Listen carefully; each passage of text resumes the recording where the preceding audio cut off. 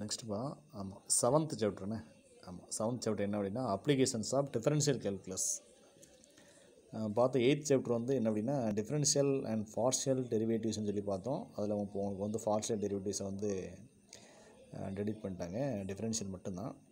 இது வந்து differential கேல்குலஸோட application ஓகேவா ஆமாம் ஒரு இம்பார்ட்டன்ட் சாப்டரு இப்போ நம்ம பார்க்க பார்க்குறதுல லாஸ்ட்டு சாப்டர் ஆமாம் அது நம்ம ரிமைனிங் எல்லா சாப்டரும் முடிச்சாச்சு. கடைசியாக நம்ம செவன்த் சாப்டர் பார்க்கணுண்ணே இந்த அப்ளிகேஷன்ஸ் ஆஃப் டிஃபரன்ஷியல் கேல்குலஸ்பா நீங்கள் ஃபஸ்ட் ஆஃப் ஆல் என்ன தெரியணும் அப்படின்னா அதாவது average rate of change average rate of சேஞ்ச்னால் என்ன? அது மாதிரி இன்ஸ்டனியஸ் ரேட் ஆஃப் சேஞ்ச்னால் என்ன? ஓகேவா ஆவரேஜ் ரேட் ஆஃப் சேஞ்ச் அப்படின்னு சொல்லும்போது ஒரு டூ பாயிண்ட்ஸ் கொடுப்பாங்கன்னா டூ பாயிண்ட்ஸுக்கு இன்பிட்வீன் அதான் வந்து ஆவரேஜ் அப்போ வந்து நீங்கள் டிஃப்ரென்ஷியேட் பண்ண வேண்டிய தேவை இல்லை. ஓகேவா? ஆனால் இன்ஸ்டன்ட் ரேட் ஆஃப் சேஞ்சுன்னு சொல்லும்போது நீங்கள் வந்து டிஃப்ரென்ஷியேட் பண்ணணும். அது இன்ஸ்டன்ட் ரேட் ஆஃப் சேஞ்சுன்னு சொல்லும்போது இப்போ இன்ஸ்டன்ஸ் என்னது இன்ஸ்டனியஸ் வெலாசிட்டி அப்படின்னு கேட்கலாம்.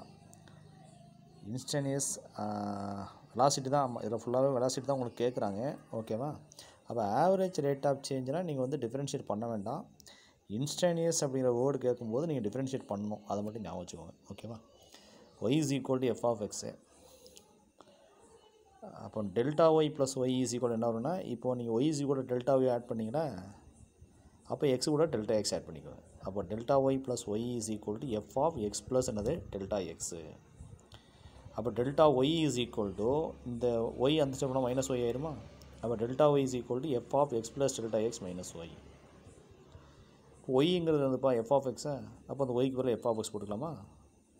ஓகே அப்போ delta y is equal to f of x plus delta x minus f of எக்ஸா ரெண்டு பக்கமும் டெல்டா எக்ஸில் டிவைட் பண்ணிங்க அப்போ டெல்டா ஒய்ட்டோட போய் delta x equal to f of x plus delta x minus f of எக்ஸோட போய் டெல்டா எக்ஸ் ஆயிடுமா திஸ் இஸ் என்ன அப்படின்னா ஆவரேஜ் ரேட் ஆஃப் சேஞ்ச் ஓகேவா இது வந்து ஆவரேஜ் ரேட் ஆஃப் சேஞ்ச் அடுத்து இன்ஸ்டனி இன்ஸ்டனியஸ் ரேட் ஆஃப் சேஞ்சுக்கு என்னென்னா limit delta x tends to zero delta x tends to zero ரெண்டு பக்கம் லிமிட் அப்ளை பண்ணுறீங்க ரெண்டு பக்கமும் வந்து take limit on both side அப்போ limit delta x tends to zero delta y by delta x equal to limit delta x tends to zero அதை அப்படியே எழுதிக்கணும் f of x plus delta x minus f of எக்ஸோட by delta x இப்போ இது வந்து என்னென்னா இன்ஸ்டனியஸ் rate of change ஓகேவா அப்போது இன்ஸ்டனியஸ்னு சொல்லும்போது உங்களுக்கு டிஃப்ரென்ஷியேட் வரும்.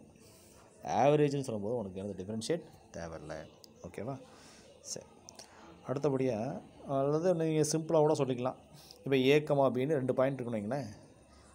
ஆமாம் ஏக்கும் பிக்கும் இன் பிட்வீன் ஆவரேஜ் அது என்னென்னா f a b minus f a b e ரெண்டு பி மைனஸ் e அவ்வளோதான் ஏங்கிறது என்னது ஃபஸ்ட்டு பாயிண்ட்டு ஓகேவா இனிஷியல் பாயிண்ட்னு வச்சுக்கலாம். ஏங்கிறது இனிஷியல் பாயிண்ட்டு பிங்கிறது என் பாயிண்ட்டு ஓகேவா அந்த டூ பாயிண்ட்ஸுக்கு ஆவரேஜ் அப்படின்னு சொல்லும்போது f of b minus f of b divide by என்னது? பி மைனஸ் ஏ ஓகேவா? F of b minus f of b b minus ஏங்க தான் ஆவரேஜ் ஓகேவா?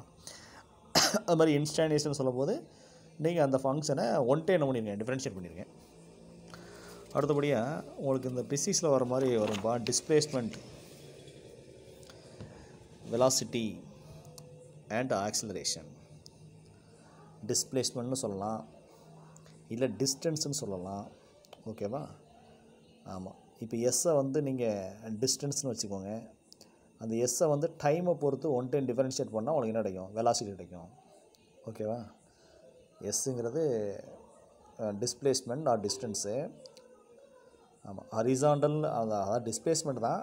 அது ஹரிசாண்டல் மோஷனாக இருந்தால் அது வந்து என்ன சொல்கிறோம் டிஸ்டன்ஸ்னு சொல்கிறோம் ஓகேவா ஆமாம் டிஸ்டன்ஸ்னு சொல்கிறோம் இதே இது வந்து வெர்டிக்கல் மோஷன்னு சொல்லும்போது அது வந்து நம்ம ஹைட்டுன்னு சொல்கிறோம் ஓகேவா? இப்போ ராக்கெட்டு ஏரோப்ளேன் இப்போ இது எல்லாமே வந்து வெர்டிக்கலாக போகிறதுனால மேலே பார்த்து போகிறதுனால அதில் வந்து இப்போ ஏரோப்ளேன் வந்து கிரவுண்ட்லேருந்து எவ்வளோ ஹைட்டு போயிருக்குது? அப்போது அதை வந்து நம்ம ஹைட்டுன்னு சொல்லுவோம். இதே இது காரு சைக்கிள் பைக்கு இதெல்லாம் நம்ம போகிறத வந்து என்ன சொல்கிறோம் அப்படின்னா உங்களுக்கு வந்து டிஸ்டன்ஸ்னு சொல்கிறோம் எவ்வளோ டிஸ்டன்ஸ் போயிருக்கு? அப்படின்னு சொல்கிறோம் ஓகேவா அப்போ டோட்டலாக இதை வந்து காமனாக சொல்லும்போது டிஸ்பிளேஸ்மெண்ட்னு சொல்கிறோம் அப்போ எஸ்ஸுங்கிறது டிஸ்பிளேஸ்மெண்ட் அப்படின்னா அந்த டிஸ்பிளேஸ்மெண்ட்டை டைமை பொறுத்து ஒன் டைம் டிஃப்ரென்ஷியேட் பண்ணால் உங்களுக்கு என்ன கிடைக்கும்? வெலாசிட்டி கிடைக்கும்.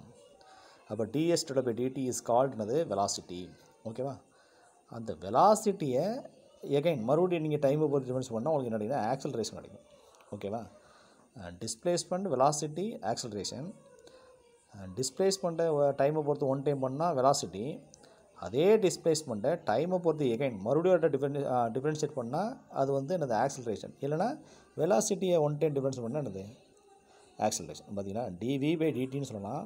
இல்லை D square S divide DT square D square S divide DT ஸ்கொயர்னா என்ன மீனிங்கு டிஸ்பிளேஸ்மெண்ட்டை டைமை பொறுத்து டூ டைம் டிஃப்ரென்ஷியேட் பண்ணுறோம் ஓகேவா? டிஸ்பிளேஸ்மெண்ட்லேருந்து உங்களுக்கு ஆக்சலரேஷன் கிடைக்கணும் அப்படின்னா அந்த டிஸ்பிளேஸ்மெண்ட்டை டைமை பொறுத்து டூ டைம் டிஃபரன்ஸ் பண்ணணும்.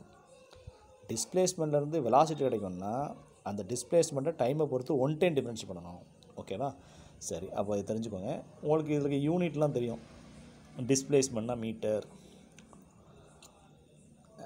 வெலாசிட்டினா மீட்டர் பர் செகண்ட் ஆக்சலரேஷன் சொல்லும்போது மீட்டர் பர் செகண்ட் ஸ்கொயர் இல்லைனா அதை நீங்கள் செகண்ட் ஸ்கொயர் மேலே ஓடினா மீட்டர் செகண்ட் பவர் மைனஸ் டூன்னு வரும். ஓகேவா metre metre second power minus one ஆக்சலரேஷனுக்கு metre second power minus டூன்னு சொல்லிக்கலாம். ஓகேவா சரி. அடுத்தபடியாக எப்போல்லாம் வந்து டிஸ்பிளேஸ்மெண்ட் ஜீரோ அதாவது எக்ஸு ஜீரோ எப்போல்லாம் வந்து வெலாசிட்டி ஜீரோ வி ஜீரோ ஓகேவா ஆமாம். எப்போல்லாம் வந்து எக்ஸு ஜீரோ அதாவது எக்ஸ்னால் இப்போ நீங்கள் டிஸ்பிளேஸ்மெண்ட் வச்சுக்கலாமா? இல்லை நீங்கள் எக்ஸு அந்தந்த டைமுக்கு ஏதாவது நீங்கள் சிம்பிள் மாற்றிக்கலாம் எக்ஸ் வைக்கலாம் இல்லை வந்து நீங்கள் எஸ் வச்சுக்கலாம்.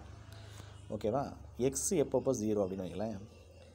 இப்போ கிரவுண்ட்லேருந்து ஒரு ஸ்டோனை தூக்கி மேலே எறிகிறோம் ஓகேவா மேலே போன ஸ்டோனு எகைன் மறுபடியும் வந்து கிரவுண்டுக்கே வந்துருச்சு அப்படின்னா total distance travel by the stone x is equal to zero ஓகேவா இப்போ வந்து கிரவுண்டில் இருந்து ஒரு ஸ்டோனை தூக்கி மேலே எறினோம் ஒரு டுவெண்ட்டி மீட்டர் மேலே போயிருக்கு. அதே டுவெண்ட்டி மீட்ரு வந்து ஆப்போசிட் டைரெக்ஷனில் கீழே பார்த்து வர்றதுனால so twenty minus twenty is equal to zero ஓகேவா? ஸோ கிரவுண்ட்லேருந்து கிளம்புன பார்ட்டிகள் எகைன் மறுபடியும் கிரவுண்டுக்கே வந்து அடைஞ்சிச்சு அப்படின்னா டிஸ்பிளேஸ்மெண்ட் இஸ் ஈக்குவல் டு என்னது? ஜீரோ அந்த total distance travel by the stone is equal to x is equal to zero ஓகேவா? அடுத்து வெலாசிட்டி எப்போ சொல்லணும்னா மேக்ஸிமம் ஹைட்டில் மேக்ஸிமம் ஹைட்டில் வெலாசிட்டி ஜீரோ அது மாதிரி எப்போ வந்து பிரேக்ஸ் பிரேக் அப்ளை பண்ணுறோமோ அந்த இடத்துல வெலாசிட்டி ஜீரோ பிரேக் அப்ளை பண்ணுற இடத்துல வெலாசிட்டி ஜீரோ மேக்ஸிமம் ஹைட்டில் வெலாசிட்டி ஜீரோ அடுத்து velocity V is equal zero at particle comes to rest okay particle comes to ரெஸ்ட்னா meaning என்ன பார்த்தோம் அதாவது வந்து இப்போது வந்து ஒரு காரில் போயிட்டுருக்கோம் போயிட்டுருக்கும்போது போய் முடிச்சுட்டு நம்ம எப்போ வந்து ஸ்டாப் பண்ணுறோமோ அந்த ஸ்டாப் பண்ணுற இடத்துல வந்து ரெஸ்ட் அந்த பார்ட்டிக்கல் வந்து ரெஸ்ட்டுக்கு வருது. அந்த பார்ட்டிகல் ரெஸ்ட்டுக்கு வரும்போது வெலாசிட்டி v is ஜீரோ இப்போ வி வந்து three பிளேசஸில் zero maximum height the instant brakes are applied அடுத்து the particle comes to rest இந்த த்ரீ ட பிளேஸில் வெலாசிட்டி வி is என்னது? ஜீரோ இங்கே பாருங்கள் இந்த when the particle is at rest then velocity zero when the particle is moving ஃபார்வேர்டாக இருந்தால் velocity வந்து positive the particle is moving backward அப்படின்னா வெலாசிட்டி லெஸ் தென் ஜீரோ அது நெகட்டிவாக இருக்கும். When the particle changes direction V then changes its sign ஓகேவா ஆமாம் அதாவது forward அப்படின்னா வெலாசிட்டி பாசிட்டிவ் தான். பேக்வேர்டு அப்படின்னா அந்த பார்ட்டிக்கல் வந்து பேக்வேர்ட் போணுச்சுன்னா அது பின்னாடி பார்த்து போணுச்சுன்னா வெலாசிட்டி வந்து எனது நெகட்டிவ் ஓகேவா அடுத்தபடியாக இந்த ஃபார்மில் ஞாபகம் வச்சுக்கோங்க. இந்த ஃபார்மில் என்ன பாருங்கள்